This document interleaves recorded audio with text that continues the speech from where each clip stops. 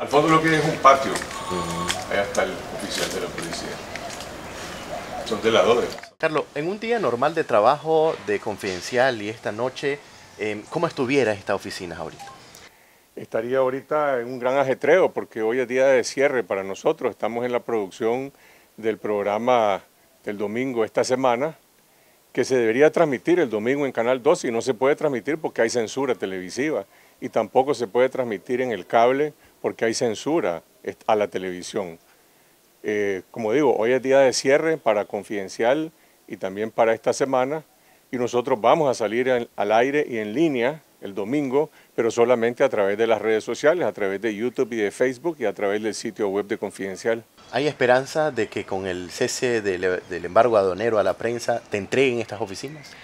Es el primer paso en la restitución de la libertad de prensa, pero solo es el primer momento. Para que haya una restitución plena de la libertad de prensa, debe el Estado ordenar que la policía desocupe la redacción de Confidencial y la de 100% Noticias. Y también deben suspender la censura televisiva contra Canal 12, contra otros medios, y deben de abrir el sistema de cable a la televisión independiente del país. No es posible que se siga manteniendo la censura y además cesar eh, los ataques y las agresiones contra los periodistas. Entendemos de que hay una supuesta resolución que se está trabajando. ¿Has tenido conocimiento de esto, tu fuente interna en la Corte? Mira, nosotros presentamos en los propios días de diciembre de 2018 tres recursos de amparo ante la Corte Suprema de Justicia. Los recursos fueron aceptados, fueron acumulados, como ellos dicen. Los recursos demandan que la Corte ordene a la policía desocupar esta redacción. Eh, tienen un, año de tenerlos en sus manos. ¿Y por qué no lo han fallado? Bueno, ahí tienen todas las pruebas. Las pruebas están que la policía está aquí sin ninguna justificación, sin ninguna orden judicial. El jefe de la policía alegó ante la corte que él había ocupado esta oficina supuestamente para incautar los bienes de la organización no gubernamental 5, pero el domicilio de 5 queda en Plaza España y no hay ninguna relación entre 5 y los medios de comunicación. De manera de que aquí estamos ante un acto de retardación de justicia porque hay hasta ahora una decisión política de la dictadura que pretende mantener la censura contra Confidencial y 100% Noticias. ¿Qué ha pasado con tu equipo periodístico, tu equipo administrativo también que trabajaba en estas oficinas?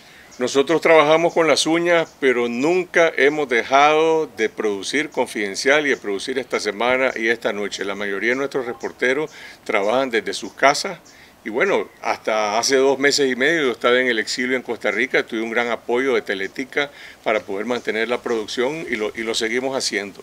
A pesar de todo, hemos logrado regresar la mayoría de los reporteros que estaban en el exilio y aquí estamos y vamos a seguir. ¿Te da temor estar aquí afuera de esta oficina sabiendo que adentro hay oficiales de policía? Bueno, hay varios oficiales armados que están adentro. Eh, yo creo que todos los nicaragüenses no nos sentimos seguros, tenemos temor de que en cualquier momento podemos ser objeto de alguna agresión, pero bueno, tenemos que, tenemos que asumir los riesgos y tenemos que recuperar los espacios de libertad. Por eso yo estoy aquí, por eso regresé del exilio, para seguir reclamando que el Estado ordene el cese de la ocupación de la redacción y el cese de la censura. Cada día que hacemos periodismo estamos recuperando esos espacios de libertad. ¿Has tenido algún tipo de comunicación con alguien del gobierno que te trate de negociar la devolución de tus propiedades y tus bienes? Ninguna, aquí no hay nada que negociar. Aquí no hay absolutamente nada que negociar. El Estado tiene que ordenar el cese de una ocupación ilegal y el Estado tiene que suspender la censura. El estado de sitio policial debe ser levantado porque además es insostenible y es un fracaso.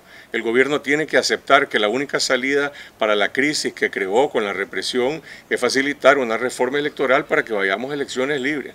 ¿Has tenido comunicación con el nuncio, sabiendo de que él fue el que intercedió por el desbloqueo aduanero de la prensa? No, no he tenido comunicación con el nuncio hasta ahora. He mantenido un contacto con él anteriormente, pero en relación a este tema, nosotros no, tenemos ninguna información ni oficiosa ni oficial de ningún tipo. los hechos es que aquí está la policía ocupando la redacción de Confidencial. ¿Hay esperanza de que vuelva la libertad de prensa al país? La libertad de prensa la estamos recuperando, la estamos ejerciendo. con restricciones, con represalias, con limitaciones, y yo estoy seguro que va a haber libertad plena, libertad plena de prensa, cuando se acabe la censura televisiva y cuando también se restablezca la libertad de expresión, la libertad de reunión y libertad de movilización. Yo estoy absolutamente convencido de que todo eso se va a dar, van a liberar a los presos políticos y finalmente el gobierno va a acceder con o sin Daniel Ortega y Rosario Murillo a una reforma electoral. Es la única salida que tiene el país. Carlos, vos tenés una trayectoria muy larga en el periodismo nicaragüense. ¿Te imaginaste que en algún momento Nicaragua iba a vivir este tipo de intervenciones a los medios de comunicación?